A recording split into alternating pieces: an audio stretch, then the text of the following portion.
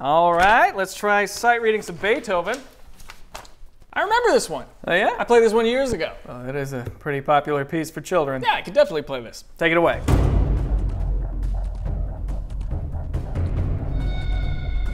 What's going on? I'm just waiting for the muscle memory to kick in. Go. Are you serious? Yeah.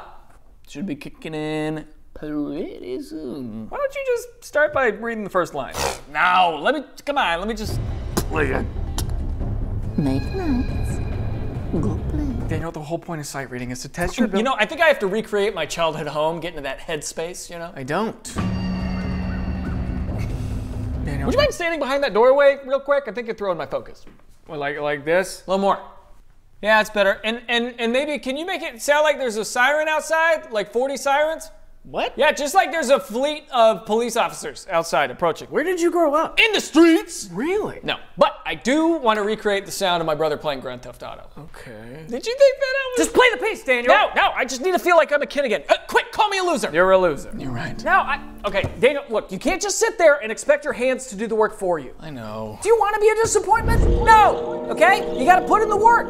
Wait. Otherwise, you'll never learn how to put in effort anywhere. Okay? You'll be you'll be pathetic. You'll be useless, like a mime at a petting zoo. Wow, a mime. Is this a performance? No, this is just for me. Was was that like a Family Guy cutaway? I think it was. That was weird. We gonna do we do those now? I don't know.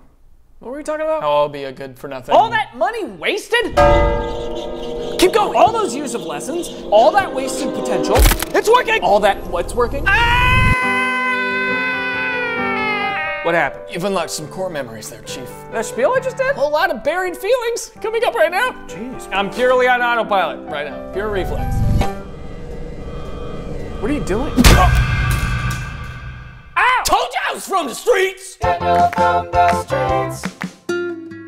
Hey, if you can understand this, congratulations. That means you can understand audiobooks too. If you know me personally, you'd know that I'm a huge fan of Audible. This is real. And if you're a creative person looking for a recommendation, I highly recommend Monsters and How to Tame Them by Kevin Hart. Basically, we all live with a bunch of monsters that we deal with. We deal with the do it all monster, the can't go backwards monster, and so on. So you gotta check it out. It's only available on Audible. All Audible members get access to a growing list of audiobooks that you can listen to anytime, and each month you get to choose one to keep all for yourself. They also have Audible originals, podcasts, guided meditations, and fitness tracks. You can always find something new. Their app makes it easy to listen on a walk, in a car, folding your laundry, wherever. And new members can try it free for 30 days. That is a long time. So visit audible.com slash Daniel Thrasher or just text the word Daniel Thrasher to 500 500 to get started today. Merch!